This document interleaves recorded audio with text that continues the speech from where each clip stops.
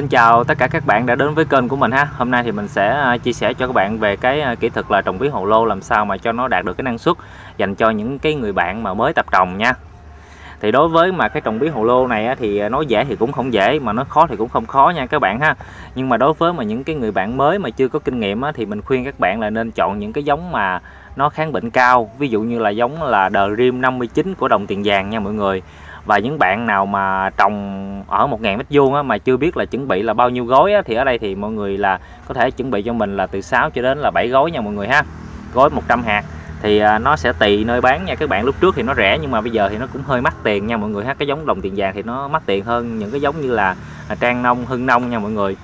Rồi thì đó là về cái vấn đề là về giống.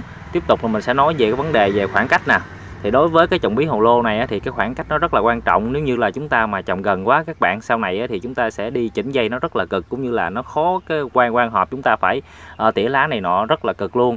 Thì do đó là cái khoảng cách trồng của nó là phải từ là 6 tấc trở lên. Thì các bạn mà trồng bí thì nó mới được thông thoáng cũng như là nó quan hợp được tốt ha tiếp tục là mình sẽ nói về vấn đề là bấm ngọn nè. Thì đối với cái bấm ngọn trên bí hồ lô này á, thì nó sẽ chia ra làm hai cái giai đoạn để bấm ngọn. Cái giai đoạn đầu tiên á, khi mà cái dây bí của mình á, là từ 6 đến 7 lá các bạn thì các bạn sẽ bấm ngọn cho nó và chúng ta sẽ lấy cơi ha. Cơi ở đây á, là chúng ta sẽ lấy từ à, ba cơi cho đến là bốn cơi nha các bạn để chúng ta lấy được những cái trái nó đạt được cái năng suất tùy theo cái thằng lái nó chịu là trái bí to hay là cái trái bí nhỏ. Nếu như là nó chịu cái trái bí to thì chúng ta sẽ lấy là ba ba cơi.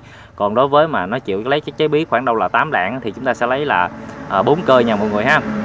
Thì đó là cái cánh mà bấm ngọn ở lần đầu tiên cũng như là cái cách mà để mà chúng ta lấy chèo. Và cái à, vấn đề mà bấm ngọn thứ hai là khi bí của mình các bạn thì sẽ có hai cái trường hợp. Một là nó bò được khoảng đâu là một mét rưỡi đi thì chúng ta sẽ bấm hết những cái ngọn chèo. Hai nữa là chúng ta không biết mà đo cái khoảng cách thì chúng ta sẽ canh cái trái bí non của mình các bạn thì nó ra khoảng đâu là bự hơn cái ngón tay cái của mình một chút đó, đúng không? Thì chúng ta sẽ bấm ngọn cái lần thứ hai cho nó. Cái vấn đề mà bấm ngọn cái lần thứ cái lần thứ hai các bạn là giúp cho cái dinh dưỡng các bạn thì nó sẽ tập trung mà nó sinh thực nha mọi người ha, chứ nó không phải là nó sẽ là trường bò hoài. Các bạn mà không chịu mà bấm ngọn cái lần thứ hai thì cái dây bí của mình nó rất là ốm và nó rất là tông.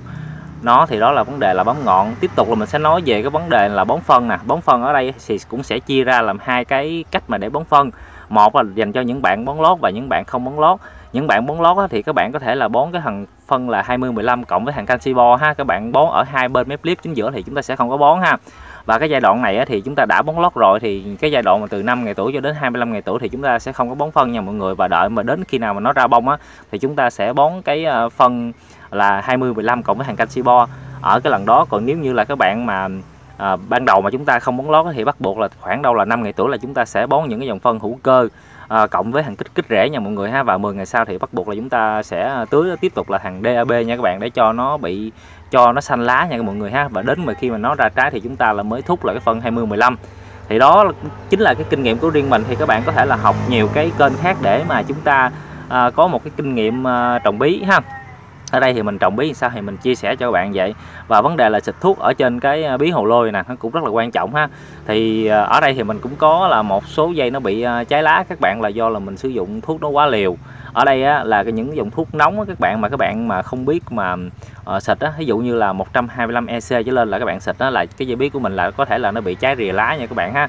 Thì do thì do đó là những cái dòng thuốc mà dạng nhũ dầu có cái hiệu EC á là từ 75 EC đổ lại các bạn thì các bạn có thể là xịt được ha. Mà trong trường hợp mà các bạn đã xịt mà nó đã bị cháy lá và cháy rìa lá rồi đó thì các bạn có thể là xịt dưỡng lại xịt dưỡng là thằng Atonit nha các bạn ha. Thì đó là giúp cho cái dây của mình đó là à, nó phục hồi lại. Và trường hợp mà cái dây bí của mình á, mà nó chậm phát triển đi nó chậm bò đi đúng không? Thì ở đây thì các bạn có thể là bạn à, uh, xịt những cái dòng thuốc mà có cái hoạt chất là GA3 ví dụ như là rầu rip đi thì khi mà mình xịt sâu các bạn thì chúng ta sẽ cộng là nửa gói rầu rip vô. Thì ở cái gói rầu rip này trên thị trường bán chỉ có là 6 ngàn một gói thôi nha mọi người ha chúng ta chỉ sử dụng là nửa gói thôi.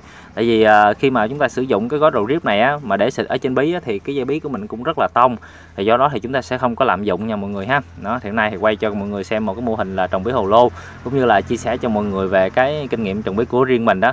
Thì bạn nào thấy hay thì hãy like và subscribe kênh của mình ha các bạn giúp mình một like ha, để cho cái video của mình nó lan tỏa ra những cái người bạn mà đang trồng bí nha. Rồi thì mình cũng xin được mến chào và hẹn gặp lại các bạn trong video kế tiếp của mình.